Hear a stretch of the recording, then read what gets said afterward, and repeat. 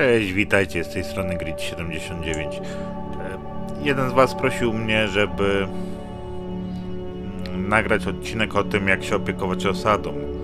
Kurde, temat jest na tyle duży, e, że nie będę w stanie omówić wszelkich niuansów, jeśli o to chodzi, wszystkich misji, które się tam pojawiają, ale spróbujemy chociaż ogólnie stworzyć jakiś zarys, jak to robić.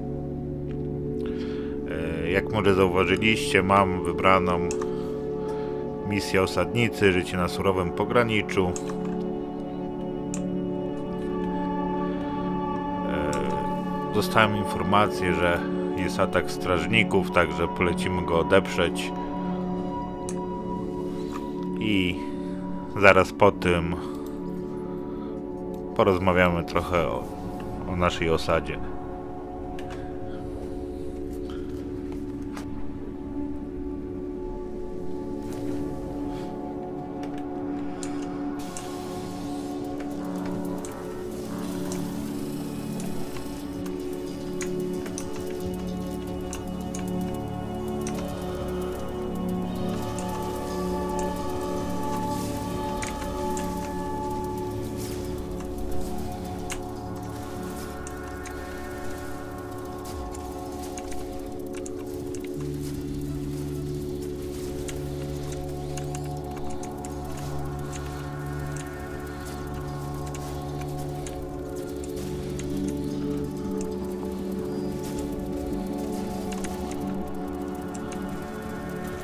Gdzie jeszcze jest?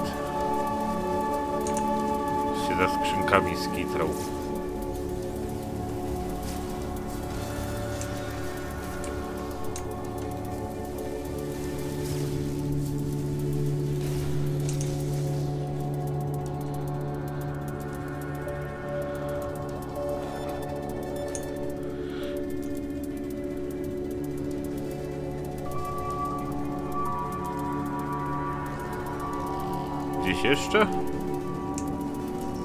Nie widzę.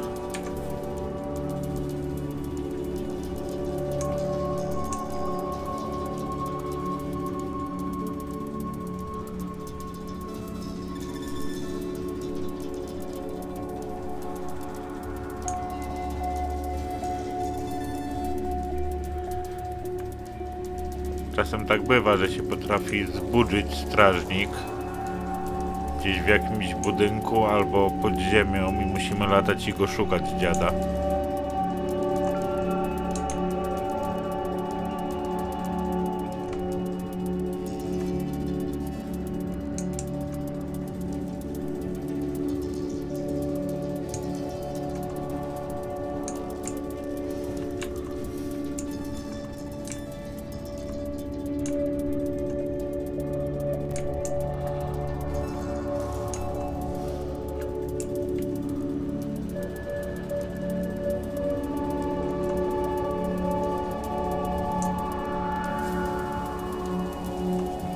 Się schował za flagą i cwaniakuje.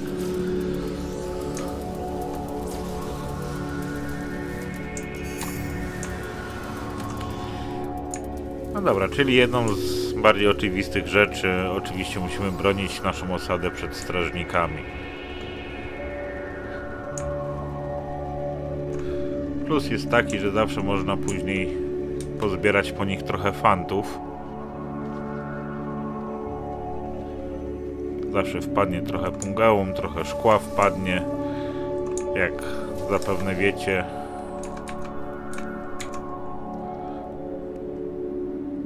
O, Atlande Atlantideum wpada tym razem z nich. No, musiało się po update'cie pozmieniać troszeczkę.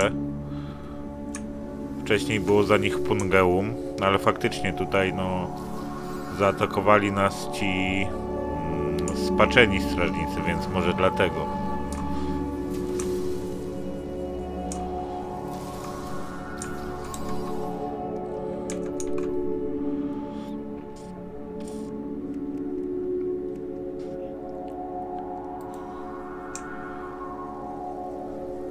W sumie biorąc pod uwagę jaki mamy potencjał obrażeń, to i tak dość opornie z nimi to szło, nie?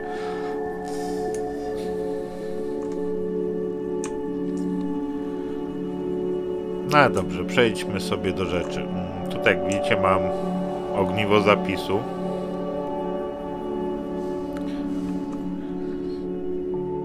No i jak dbać o naszą osadę? Wiadomo, pierwsze co musimy wybudować budynek nadzorcy, dzięki któremu będziemy mogli w ogóle osadą zarządzać. Mamy w nim teleporter, no i komputer. Tutaj akurat jakiś odwiedzający nam się pojawił. Weźmy go, przywitajmy sobie.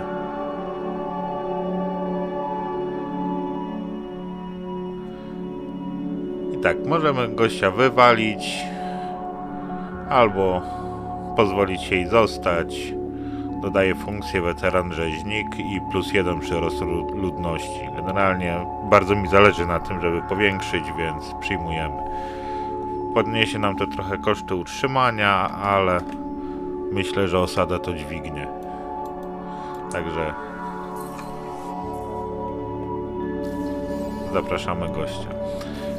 Generalnie jeśli chodzi o decyzje mm, odnośnie osady, e, z początku będziemy mieli dużo opcji, jeśli chodzi o rozbudowę osady. Jakieś tam konflikty między osadnikami. I tak, jeżeli mówimy o rozbudowie, w pierwszej kolejności yy, osobiście proponowałbym zająć się długiem osady, żeby jak najszybciej go zbić, żeby osada zaczęła produkować itemki dla nas. Jak widzicie, produktywność mam na poziomie 850 000 tysięcy jednostek. Koszty utrzymania jest to około 100 000 tysięcy jednostek. Także spokojnie mam jeszcze 700 tysięcy zapasu. No i co? W pierwszej kolejności szedłem w produktywność, żeby jak najszybciej zbić ten dług. Generalnie wyglądało to tak, że dwa budynki na produktywność, jeden na zadowolenie. Dwa na produktywność, jeden na zadowolenie. Kiedy produktywność wzrosła na tyle, że ten poziom jest w miarę bezpieczny i stabilny, wiemy, że nie zaczniemy popadać dalej w długi. Odwróciłem troszeczkę i dwa w zadowolenie, jeden w produktywność. Tak, żeby podbić zadowolenie na stówę. Ale jeżeli tylko pojawiła mi się opcja yy, rozbudowy liczby obywateli, ludności, to to wybierałem zawsze, bo jak widzicie z tym jest lipa. Dodatkowo mm, uważajcie na misję, w której wysyłacie swoich obywateli na jakieś wielkie wyprawy, na które oni sobie chcą iść. Ponieważ jeżeli to się nie powiedzie, stracicie jeden punkt ludności, no jeden punkt liczby obywateli, bo nie sądzę, że mam tam pięciu czy sześciu obywateli w całej wiosce.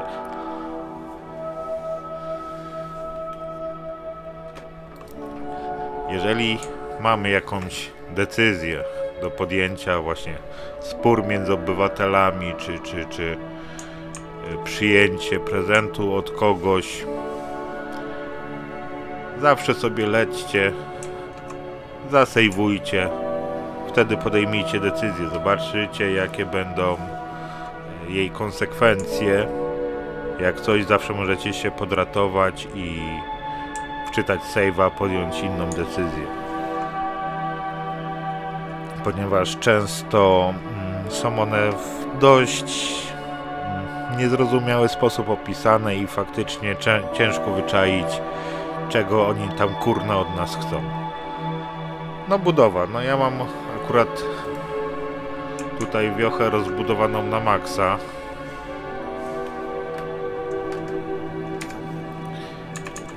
Raczej dużo więcej już nie będę w stanie postawić. Już dość długo nie miałem żadnej propozycji rozbudowy.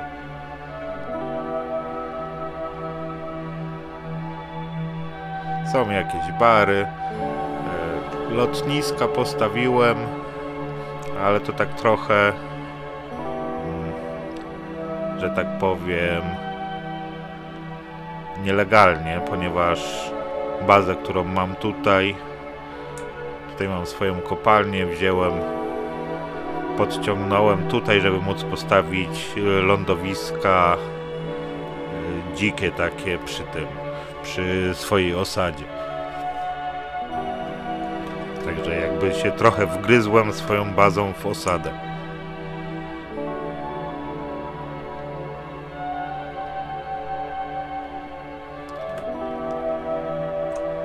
Dobra, wyjdźmy sobie z tego.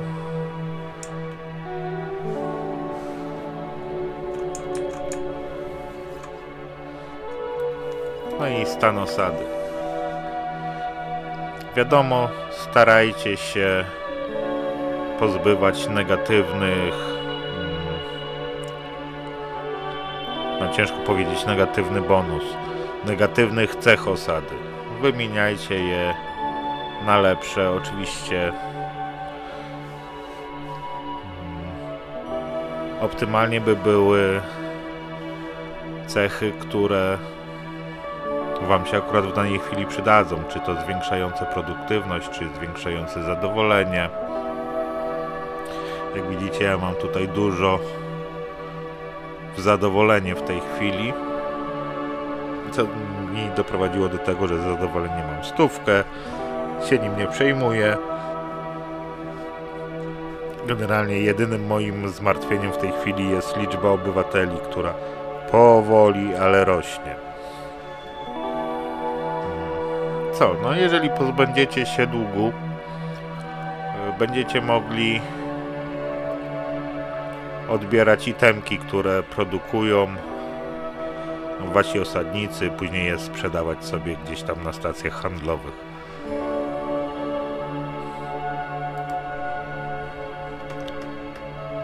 Większość mm, pomysłów obywateli, oni jakieś tam mają święta, sobie wymyślają, potańcówki i tym e, podobne różne dziwne rzeczy jest w miarę neutralna, nie ma się czym przejmować. Tak jak mówiłem, jedyne na co uważajcie to kiedy sobie wymyślą, że mają ochotę na jakąś wielką ekspedycję, ponieważ możecie stracić ludność. No i co? I w sumie jeśli chodzi o osadę, to by było na, na tyle. No. Trwa to długo. Naprawdę y, doprowadzenie osady do Eski nawet nie wiem, czy jest możliwe. Pewnie tak, no. Ja tą osadę mam kupę czasu, fakt faktem, że pojawiam się tutaj dość rzadko. Ale podniosłem ją z... Teraz nie pamiętam, chyba od B zaczyn zaczynałem. Także podniosłem ją do A. I podejrzewam, że ludności mi tylko brakuje, żeby dobić do eski, nie? Wydaje mi się, że wszystko musi być wymaksowane, tak jak mam zadowolenie. Wystarczy, że to wszystko wejdzie na zielony poziom, tak jak mam produktywność i zadowolenie. Ale jest to tylko moje przypuszczenie. Nie widziałem jeszcze osady klasy S, przynajmniej nikt się chyba nie chwalił na żadnej z grup y, No Man's Sky'a.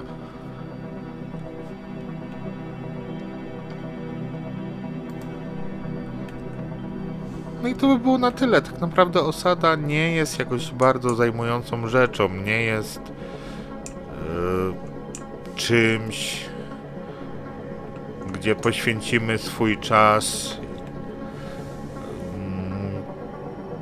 yy, gdzie to nas pochłonie i nie będziemy mogli się zajmować czymś innym. Do osady sobie wpadamy, jak mamy ochotę. Wiadomo, bronimy ją przed strażnikami, podejmujemy jakieś decyzje.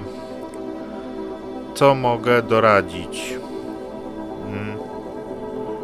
Poszukajcie sobie osady na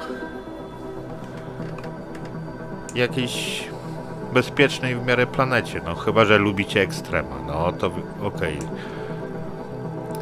Bo nie dość, że musimy się tłuc tu ze strażnikami, no to jeszcze jakbyśmy tutaj mieli, nie wiem, jakąś trującą atmosferę, burzę, pioruny, diabeł wie co jeszcze, no nie ułatwiłoby nam to życie. Ja mam e, osadę na rajskiej planecie. Także nawet jak sobie zostawię postać, wiem, że jest w miarę bezpieczna, chyba że się pojawi atak strażników.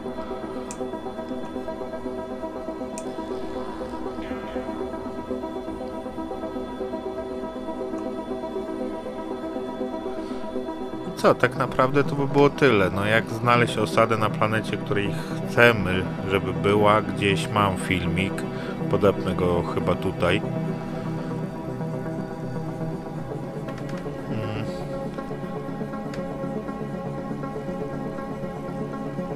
I co naprawdę nie ma co więcej tutaj chyba o tym mówić, bo e, nie jestem w stanie wam tutaj pokazać każdej jednej z możliwych decyzji. Bym musiał od początku, jak tylko zdobyłem tą osadę, nagrywać, a podejrzewam, że jeszcze nie miałbym wszystkich możliwych opcji, które, które występują w grze. Także wystarczy robić to z głową, zabezpieczyć się save'em przed podjęciem jakiejkolwiek decyzji, takiej, która może wpłynąć negatywnie na osadę. Negatywne mm, często są też, mm, jeżeli dokonamy niewłaściwego wyboru. Kiedy dwóch osadników ze sobą się kłóci, jeden oskarży drugiego o szpiegostwo albo o kradzież, wtedy możemy trochę stracić, może się nasz dług y, osady trochę zwiększyć, ale też nie jest to coś, czego nie, nie bylibyśmy w stanie odrobić. Aczkolwiek lepiej mieć save'a, po prostu wczytać grę i poprawić naszą decyzję.